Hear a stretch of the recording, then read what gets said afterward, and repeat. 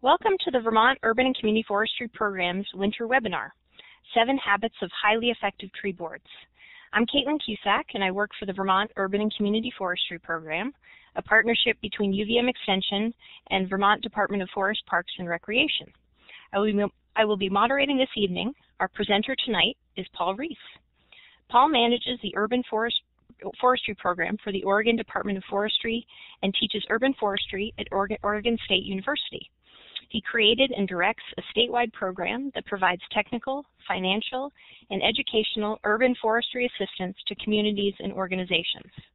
Paul previously served as an urban forester for the City of Cincinnati and as executive director of ISA's Pacific Northwest chapter. Paul holds a master's de degree from The Ohio State University and has been an ISA member and a certified arborist since 1988. Paul has a great interest in leadership and continuing education and has served as a project developer for several innovative educational efforts, including the Municipal Forestry Institute, the online Tree Board University, and a new online arboriculture course through Oregon State University. Paul, we're really great, to, glad to have you, so welcome, and I'll now turn the mic over to you for tonight's presentation. Well, thank you. I appreciate uh, being invited and uh, uh, more so uh, sparing me the flight uh, clear across the country to present in person. This is uh, a good way to do this, I think. So I'm glad to be a part of your winter series, and I hope that this presentation here will pique your interest to want to learn more about this particular subject. Let me um, first say that even though this may seem a bit formal in that we're in an online environment and I'm presenting in PowerPoint, uh, I do want to encourage you to uh, ask questions throughout. Uh, don't feel like you have to hold questions to the end. If there's a question I can answer uh, sort of on the fly, type it in that chat box, and we'll try to handle it between myself or the moderator. We'll try to handle it um, uh, as we go along. So let's talk about uh, the seven habits of highly effective tree boards. Um, get my page going here. Um, an outline for this presentation uh, tonight, what I hope to do is talk a little bit about this concept of seven habits briefly. Of course, I'm borrowing that from uh, the late Stephen Covey's popular book series. Uh, talk about what does it really mean to be effective? What does that word mean? And how, why and how do we apply that concept to the realm of tree boards? And then where do you get help to become more effective? So that's kind of where we're headed this evening in this presentation. Let's start off with talking about effectiveness. What does effectiveness mean? Well, there's a lot of different ways to consider this particular word. You could look it up in the dictionary and get a sort of a dictionary de definition. But it's probably more instructive to talk about what does effectiveness look like? What does it mean to be effective? And really, what's the difference between effectiveness or being effective and being efficient? One way to look at it would be that um, efficiency is doing things right but effectiveness is doing the right things. So while you need to be both efficient and effective, as an organization, you want to be doing things right, but you also want to be doing the right things. That's what we're going to talk about today.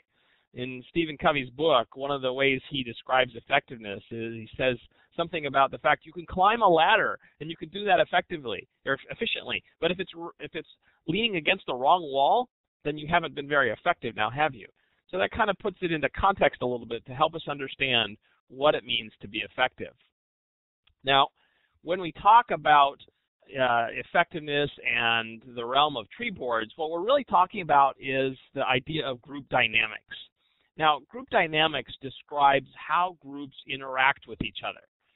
In the context of a tree board, we want to talk about how does a tree board function, how does it accomplish its goals, how does it add value to a municipal urban forestry program.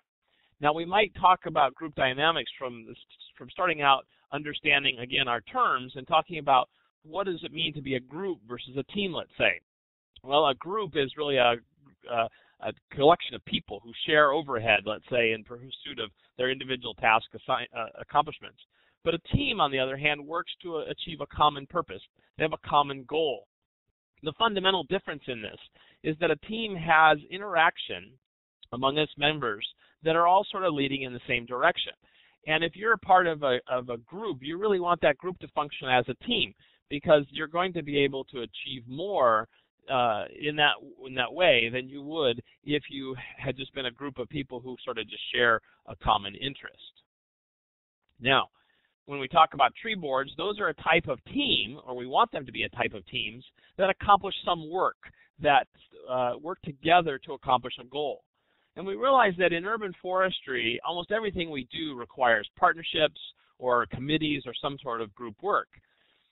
Now, teams, we realize that teams can be more effective in groups because they work for that common goal. They have that that um, end in mind, and they are what we would say would be synergistic. In other words, they can achieve more as a team than the individuals could achieve collectively if they weren't working together. So tree boards are a very common form of work team um, in urban forestry. So let's talk about why teams might be less than effective. There are really a number of, of different uh, topics or different uh, reasons why uh, teams, in this case tree boards, let's say, would struggle. Part of those would be things like having a poorly defined mission, not necessarily being certain about what it is they're trying to accomplish. A lack of sponsorship support, in this case, uh, on behalf of the city government, typically, that they're serving. Um, they might have poor member selection or recruitment. In other words, they don't have the right mix of people there that are going to help them achieve their goals. They might not have goals. They might not have clear goals, a lack of direction. They might also not have accountability. In other words, they might not have the um, uh, the right um, measures in place to really gauge uh, what it is they're doing. They might have a lack of fun and good humor. And keep in mind, teams in a in, in a situation like this are volunteers. So tree board volunteers are people who have time to give, but not time to waste. So they want to be able to work in an environment where they're where they are appreciated, where there are um, well-run meetings, and where it's uh, there's a social component to that as well. And then finally, another reason why teams might be less effective are hidden and sometimes not so hidden agendas. If different uh, members of your tree board have um, agendas that run somewhat contrary to what the greater group as a whole has, that can be problematic in what you're trying to accomplish as a tree board. So let's talk about six characteristics of teams that work. And this comes from a, a, um, a management consultant by the name of Tom Champoux. You can look at his website up. It's called the Effectiveness Institute. It's out of Seattle, Washington. Tom says that there are six characteristics of teams that really work, or teams that excel, teams that achieve, and that's really what you want your tree board to do. First, they have a high level of trust. The members trust each other. Um, trust is uh, is an important factor. It's earned. It's not something that's just given. Um, for you to be able to trust someone means that you know them well enough that they will act in your best interest, even when you're not there, for example. So if you have uh, uh, a fear of going to meetings because you might get volunteered to do something because you weren't there, there might be a lack of trust there. Um, a high level of respect. Again, like trust, respect has to, has to be earned. Um, in situations like tree boards, things can become contentious. This isn't always the case, but um, sometimes it is. I actually facilitated a tree board retreat once for a, a community where the chair had been elected chair on a four to three vote. And let me tell you, if you have uh, such a great disagreement about who should be uh, on a rotation of chair in your tree board, there's probably deeper, deeper um, problems that you have than just uh, trust and respect. Number three would be a commitment to a clear and common purpose. Now, some of this is outlined in a in the documents that create a tree board. You, for example, if a city has an ordinance that says the tree board shall be consisted of X number of people and they should operate in their role, some of that is very, very clear. But other tree boards don't necessarily have that clear line of uh, delineation about what it is they're trying to achieve. One common thing that I see when I deal with tree boards is sometimes they don't have a good understanding about whether they are an advisory body or an authority body. And that's an important distinction because tree boards, all tree boards have an, an, an advisory role. They serve to advise the city on how to run a good urban forestry program. But they all, some, some of them, not all of them, but some of them also have an authority role. In other words, they might be the um, the people who are deciding on a permit process or something like that conflict resolution. A characteristic of a team that works is that they resolve conflict. They don't avoid conflict. The opposite of conflict resolution is conflict avoidance. And many groups, they just push conflict um, away or underground. The problem is it always comes back at very inopportune uh, uh, moments. Number five, uh, teams that work focus on measurable results. And when we talk about measurable results, what I'm talking about here goes back to this whole idea of effectiveness. And let me give you another example to the whole efficiency effectiveness uh, model.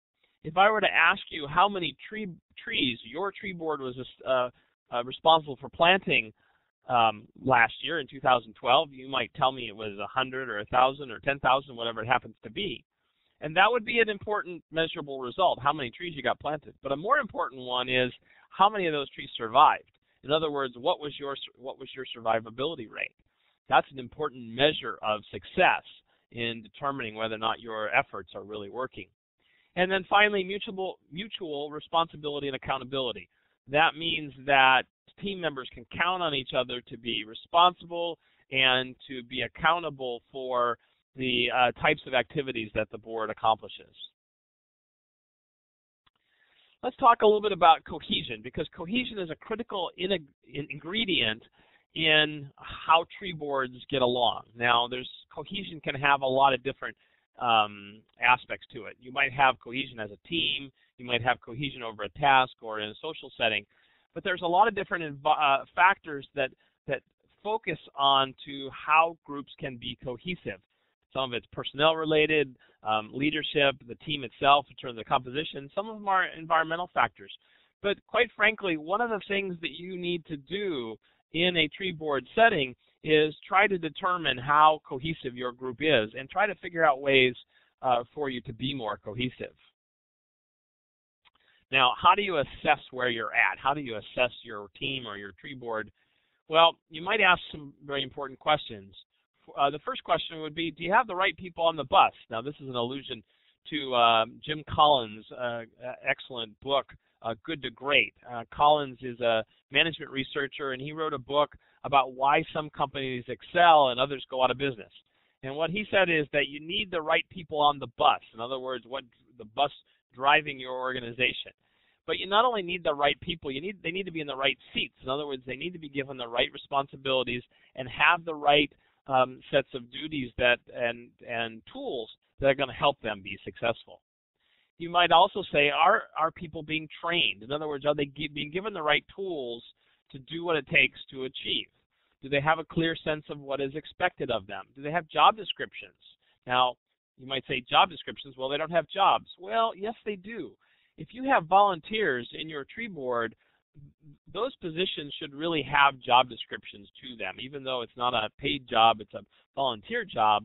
The idea here is that a job description helps uh, the person volunteering understand their um, expect what's expected of them, and also understand what it is they're supposed to be doing as a contributor to the success of that work team.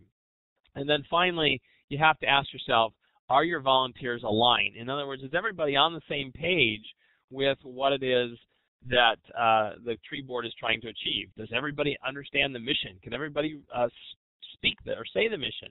Uh, can everybody uh, articulate what the goals and objectives or the plans of the organization are uh, for the next year, for example? So, why are some reasons uh, that tree boards themselves might be less than, than effective? Well, I think there's really four um, that that I would signal single out, and I've been dealing with tree boards for 25 years in, in urban forestry now. Uh, one would be a sort of a chronic lack of recognition or support by city council or staff. Some cities set up a tree board and set it set forth that in in um, ordinance, and then just expect the board to sort of just go about its work without a lot of guidance from the city. And so and that can be a, a problem if uh, if, a, if a tree board is not receiving uh, proper recognition and support from the city council or from city staff people. It really can lead to frustrations, and when you have frustrations on your tree committee, you often have infighting or you have what we might call sweating the small stuff. In other words, people are are concerned and preoccupied with minute de- details and rather rather than the big picture. Uh, the third reason might be weak leadership, and what I mean by weak leadership here is that that the organizational um, development of the tree board is uh, less than desired. It doesn't have um, what it, it, doesn't have the right people or the right tools, or it doesn't have the right leadership philosophy to make it happen. And then finally, the poor group dynamics that I spoke of earlier.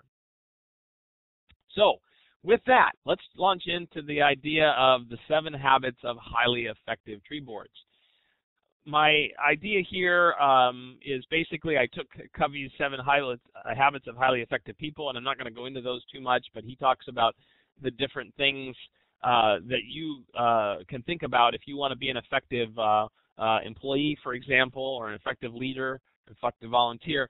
But I want to talk about what habits that effective tree boards themselves have. The first is that they live their mission.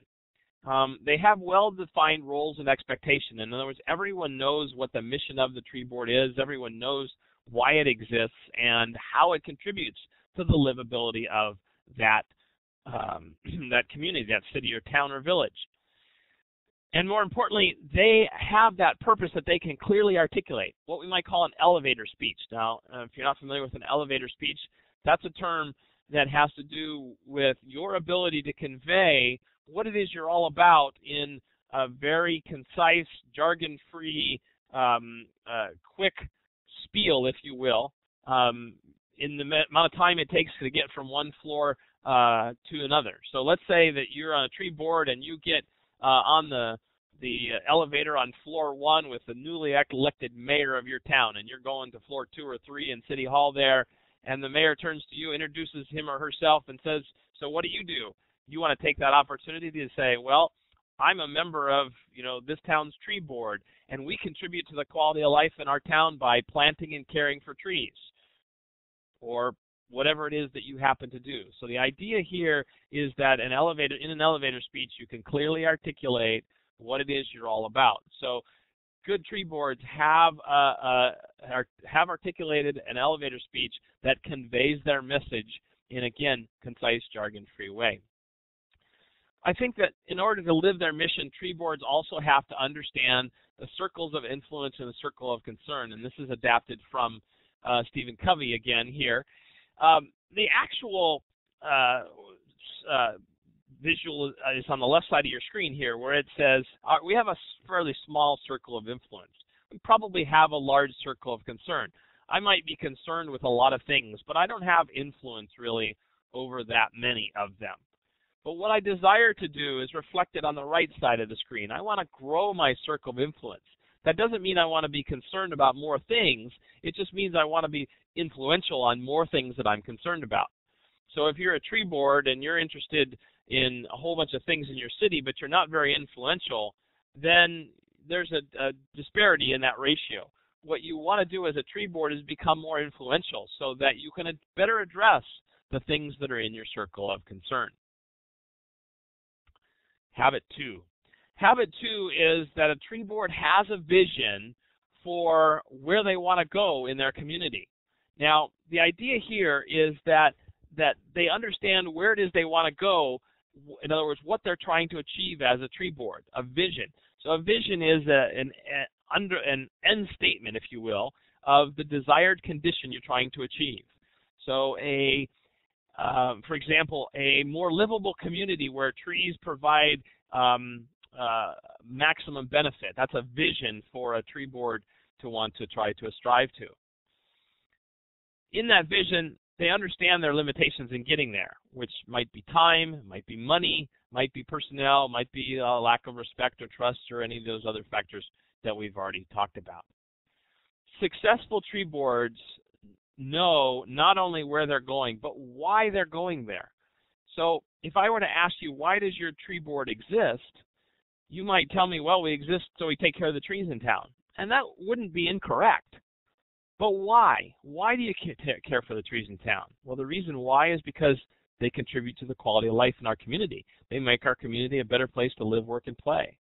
So in other words, a city tree board, to be most successful, most effective, you need to have a plan and you need to understand the why. Know your why. This comes into the whole realm of strategic planning. In strategic planning, um, you, are probably familiar with strategic planning at some level or another. There's a lot of different pieces to it: long-range planning, short-range planning, mission and vision. We've talked about goals and objectives. But really, for a tree board, what you're most interested in is the annual plan of work. I think the roadmap and those accompanying signposts for how you implement your urban forestry plan in your community. One of the things I encourage the tree boards that I work with to think about is to make sure your short-term plans are flexible enough to allow you to be opportunistic. So what do we mean by opportunistic? Well, let's say I am a wealthy citizen in your town and I come to your tree board and say, you know, I um, I think this city uh, trees are important. I'm going to give you ten thousand dollars. What would you do with it? Well, you don't want to be sitting on your hands looking at each other in a meeting, say, "Oh, we got ten thousand dollars. What should we do with it?" You want to have that already in plan. Have that plan in your back pocket that what would you do if a wealthy individual gave you your tree board $10,000? You should already know immediately that if we had $10,000, we could we would do this um, you know anti-topping campaign, or we would do this tree planting project, or we would do this uh, homeowner education uh, fair, whatever it happens to be.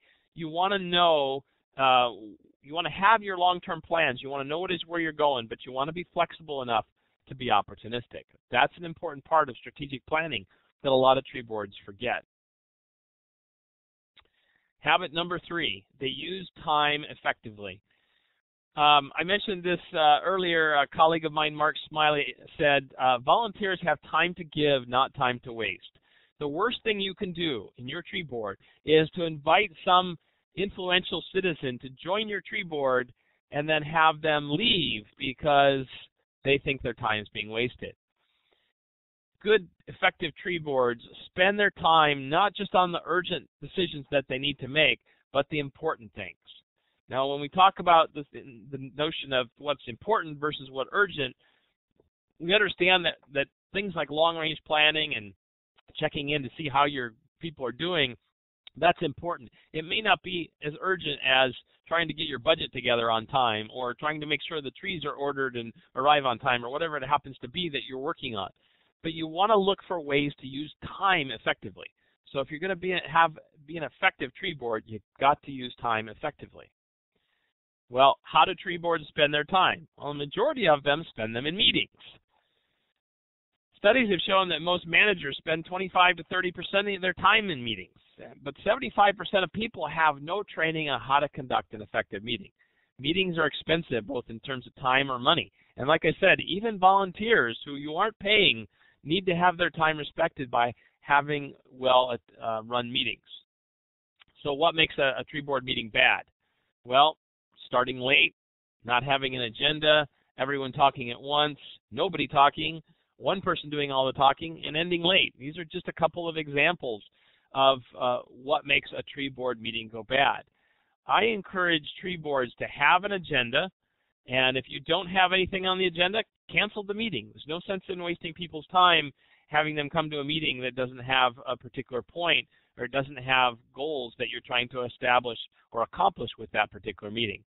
And it's important to, to uh, start a meeting uh, late and to end it on time. Make sure people's time is valuable, particularly uh, because tree board meetings tend to be during the evening. So if you run late, you're cutting into people's uh, uh, family time or people's uh, sleep time, let's say, uh, and and that's really a, a, a good way to to lose good tree board members if you you can't end a meeting on time.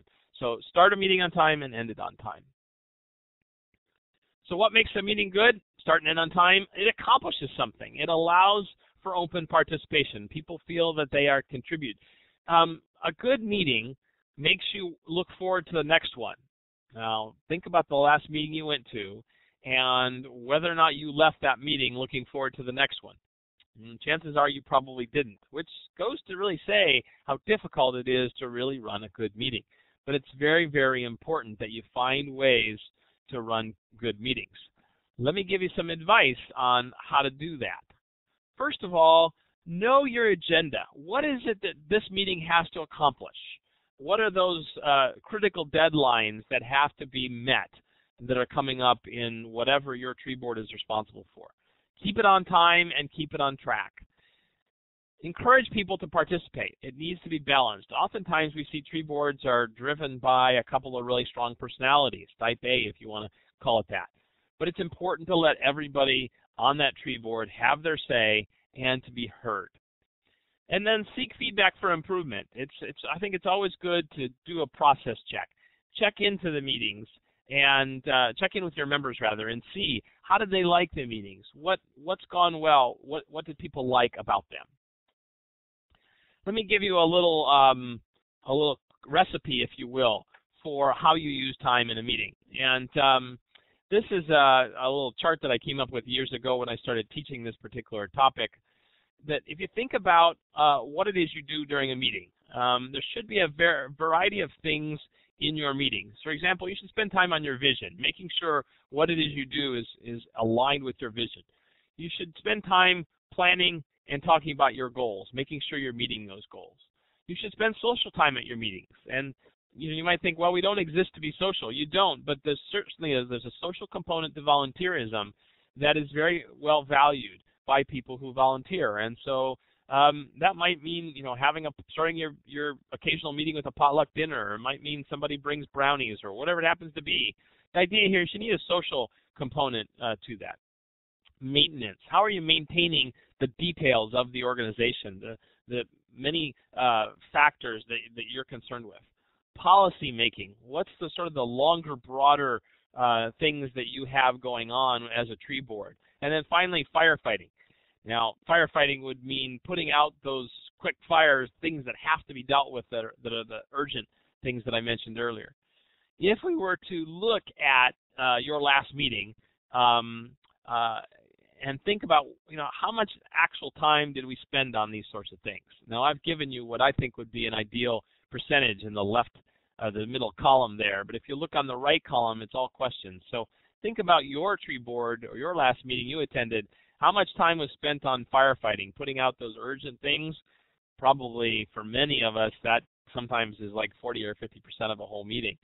But it's really important that you balance out your time in, in meetings with some of these different uh, aspects so that you can truly be effective. Number four, effective tree boards practice succession planning. Now, what I mean by succession planning is that they know what comes next. What's the succession to whatever project they're working on or whatever people they have working on on them. So if you're um, into a, a, huge project with for your tree board, um, some of you at least should be focused on what's the next project that you're going to do after this one is completed. It's important for you to understand that you can't uh, just focus on what you're doing without thinking about what's coming next. Now, that also involves the people as well. So if you've got a tree board of seven people and you might be working together, well, realize that those seven people aren't always going to be on that tree board, and and there needs to be new people coming along that that support your mission and that believe in what it is you believe in um, to uh, uh, advance urban forestry in your community. So you want to think about who comes next, about cultivating uh, project volunteers to become program contributors. In other words, what I mean is you can sponsor a volunteer tree planting and have a lot of people show up to plant trees. But you know, you really want people to go from that idea, yeah, I'll sign up to plant trees, to yes, I'll come um, to the city budget hearing and advocate for your tree budget. In other words, they show up on a day to do a task, great. But if they can become your supporters, that's uh, even more important. So you need to think about who comes next, and then how are you training those people? How are you giving them an orientation to what it means to serve on a tree board? So here's a little bit of a, uh, a model of how is it that you uh, draw an organization. So in the center here you have a board. Um, I'm not sure if you can see my arrow on the screen. I'm going to mouse over here. Maybe you can, maybe you can't. But in the center of this sort of bullseye design here, you have the board. The board um, is the, the, the fixed number of people appointed by the city council, and it's the people who have the responsibility for carrying out the mean the um, ends and the means of the organization. Outside of that, you have another ring, which would be committees.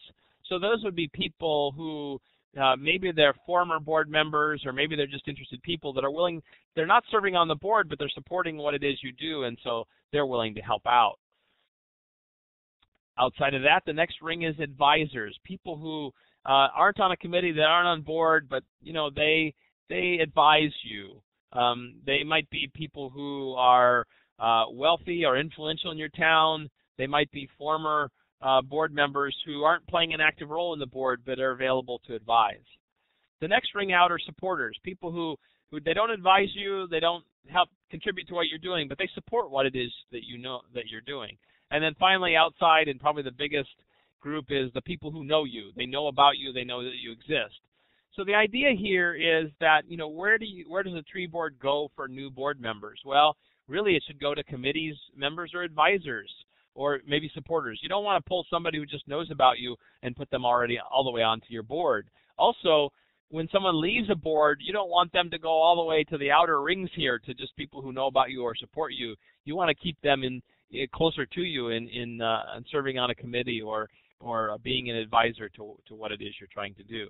So this bullseye kind of helps you, or this graphic rather, just sort of helps you think about how do you build an organization for long-term uh, lasting effectiveness. Habit number five, they make connections. Effective tree boards connect their cause to other city uh, issues. Now, you heard me several times so far this evening talk about livability. And I would argue that that is one wagon that every tree board should hitch its star to. Uh, trees in communities are about livability. They make our cities more livable. But they also make and save money, so there's an economic factor. They also contribute to public safety, so there's a public safety factor. It's important that trees in cities are seen as contributors to other other societal goals. Uh, the most effective tree boards connect with other people outside of their community forestry operation who can help advance their cause.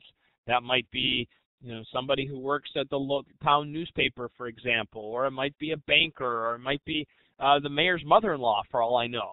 But the idea here is that, that there are supporters, the, the tree board has made connections with other people to support and advance their cause. And again, that comes back to this whole idea of leadership and exerting leadership by having a tree board that is well connected.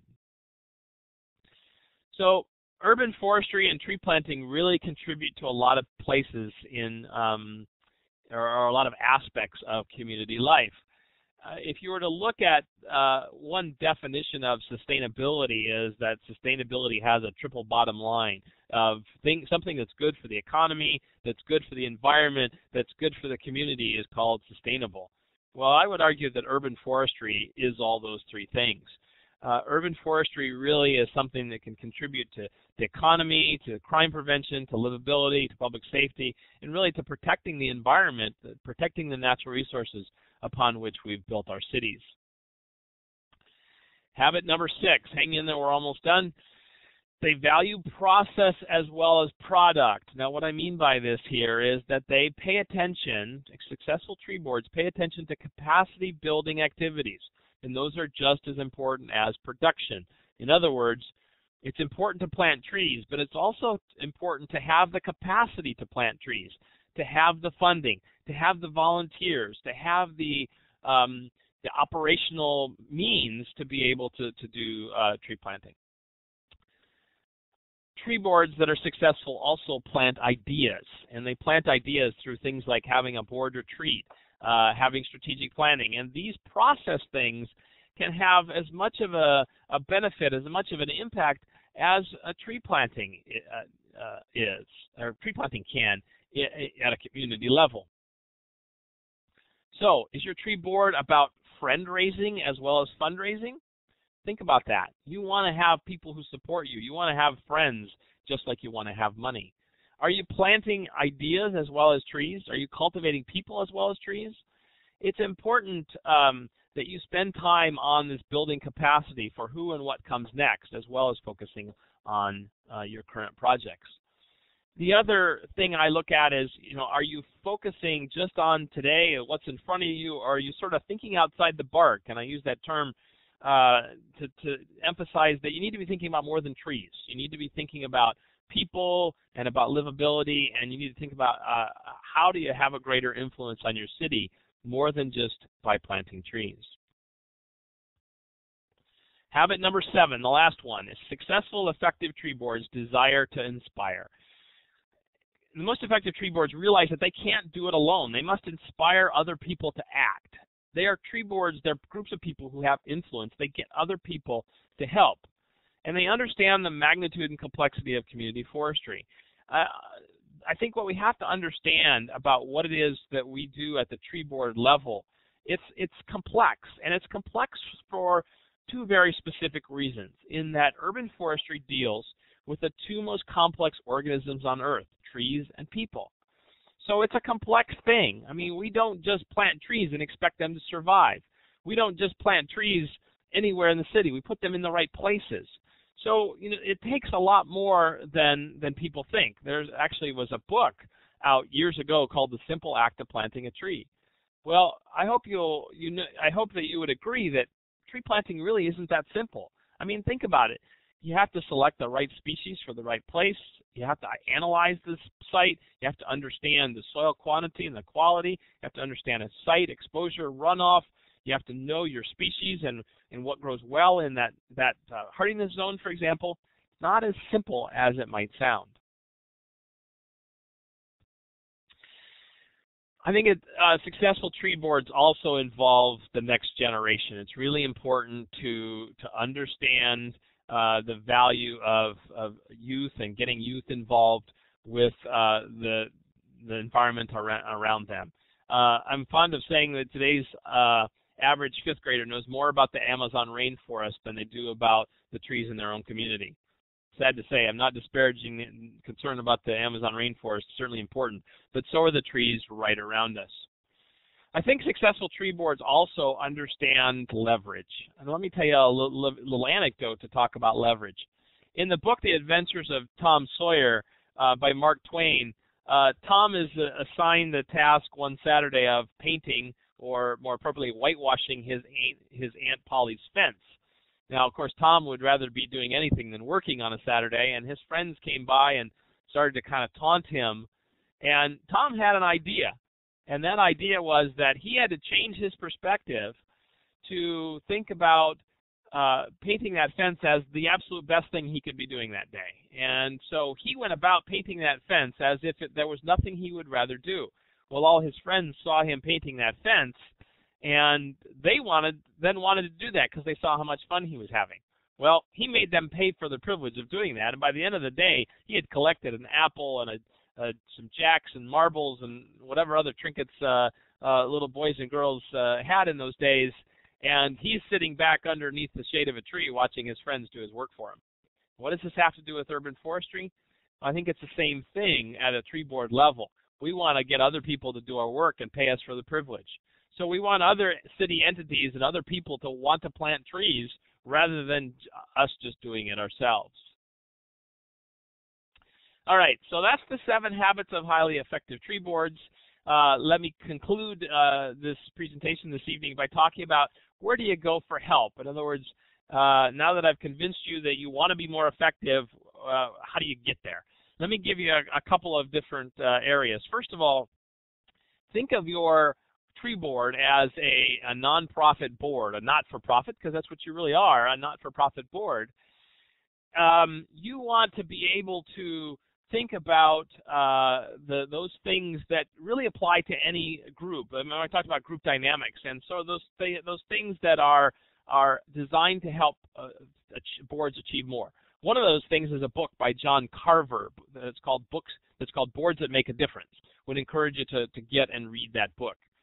There's also nonprofit assistance organizations. Um, we have one here in my home state of Oregon that it's a it's a nonprofit organization that is only designed to help other nonprofit organizations. That's their whole meaning of existence. And so what they do is they have seminars about how to have an effective board, how to keep good books, um, uh, you know, how to deal with legal issues, whatever it happens to be.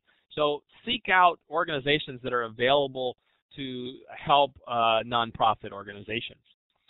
The next would be extension and state urban forestry programs in every state. There's uh, the the uh, Land Grant University Extension Program and state urban forestry agencies that have urban forestry efforts that can help you be more effective. And then the last two, which I'm going to spend a little more time on here, is online courses and webinars and Tree Board University. And these are a couple of resources that you can use to uh, become more effective. Uh, there are a lo lot of online courses that you can learn more about the, the field of urban forestry. I teach one at Oregon State University. This is a college level course, Forestry 350. It's offered completely online, uh, fall and winter quarters at OSU.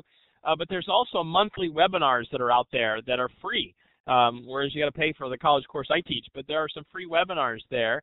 Um, the uh, Urban Natural Resources Institute, um, unri.org, is a U.S. Forest Service, and it's actually there in New England, not too far from you. I think it's in Connecticut, if I'm not mistaken, or Massachusetts. Massachusetts, I'm sorry. It's in Massachusetts, and it is. Uh, uh, they have a, a, monthly webinar. It's an hour long. I think it's. Uh, uh, I think it's on Wednesdays. I'm not positive, but um, they have a variety of topics, and not only that, they archive all their old webinars, so you can go right there and um, to that website and listen to uh, archived copies of, of previous webinars. And then the Alliance for Community Trees, which is a nonprofit national group that promotes uh, volunteer and nonprofit tree planting organizations, uh, actrees.org. They have uh, monthly webinars as well. Wanted to talk a little bit about Tree Board University. Uh, Tree Board University is an online training resource for members of tree boards all across the U.S. It was a national uh, project that was funded by um, the U.S. Forest Service and was created uh, by a team of about a dozen people from uh, around the country, including uh, Kate Forrer from there in Vermont.